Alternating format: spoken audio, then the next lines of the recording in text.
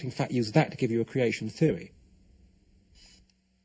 If one goes back in time, one comes to the Big Bang singularity, where the laws of physics break down. But there's another direction of time that one can go in, which avoids the singularity. This is called the imaginary direction of time. In imaginary time, there need not be any singularities which form a beginning or end to time. When you come to imaginary time, you have this rather peculiar possibility of having a now, as it were, without necessarily having a, a sort of a chain of, of, of, of past moments. Um, if uh, we start where we are at the moment, start running backwards in time, as it were, then for a long time things work perfectly normally.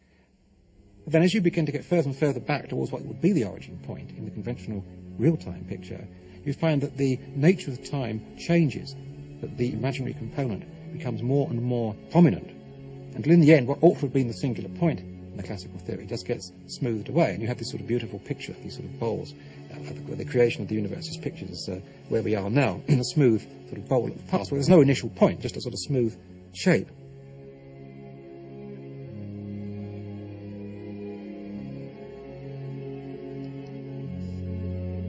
So long as the universe had a beginning, we could suppose it had a creator.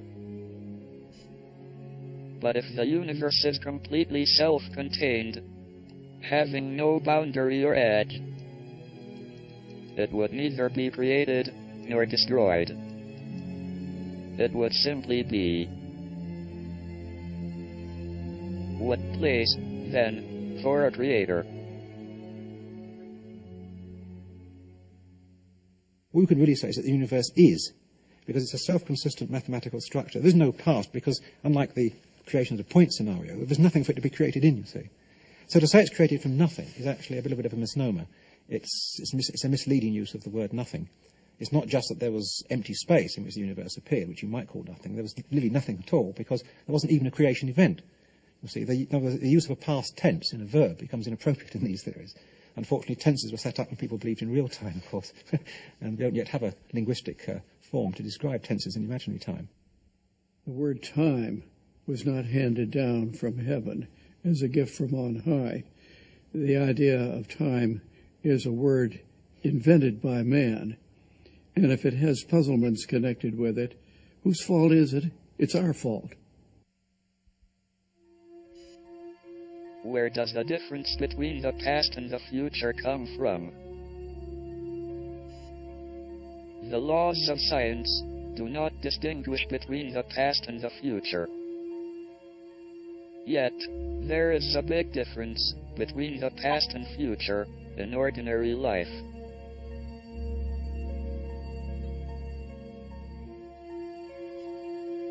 You may see a cup of tea fall off a table and break into pieces on the floor, but you will never see the cup gather itself back together and jump back on the table.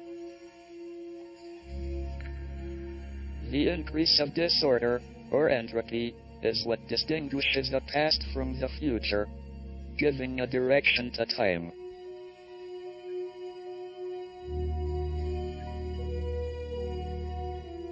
He fell ill in Switzerland. When he came back, he was on a ventilator. Because he's on a ventilator, you've got a tube down your throat and therefore you can't speak, just for that reason.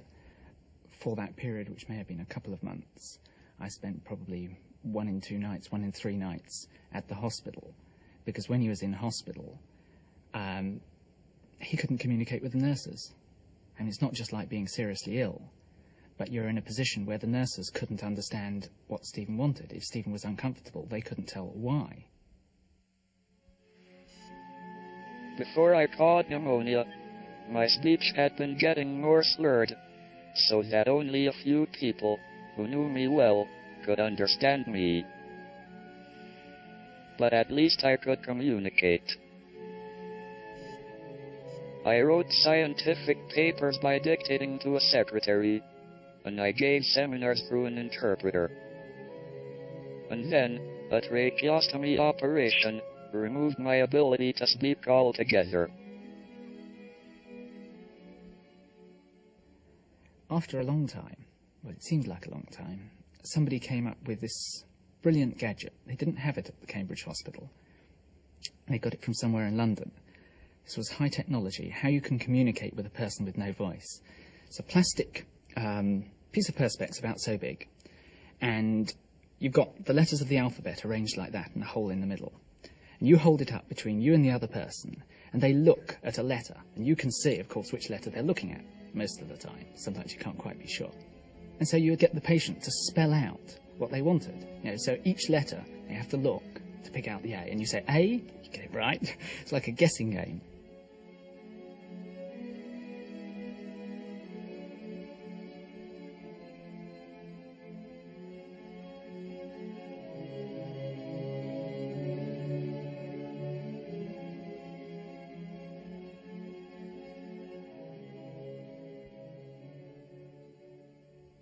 Stephen wasn't willing to accept that he wasn't going to speak again.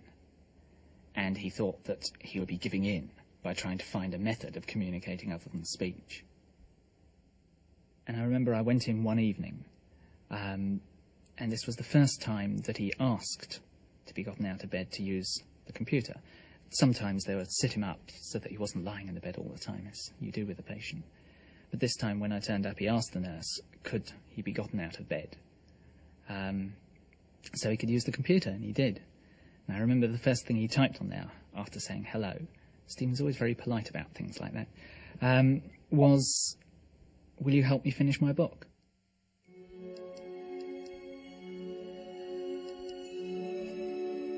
A computer expert in California heard of my plight and sent me a computer program called Equalizer.